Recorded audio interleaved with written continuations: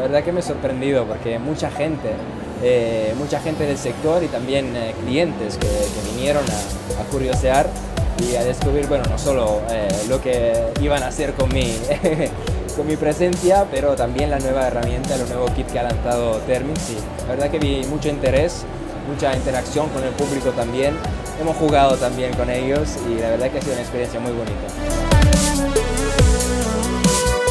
Pues soy de cuidarme bastante, te digo la verdad, pero no soy obsesivo, en el sentido que me cuido mucho el pelo, la barba, porque creo que son, a impacto la primera cosa que, eh, que, que, denotan si un hombre eh, está bien cuidado en ese momento o menos.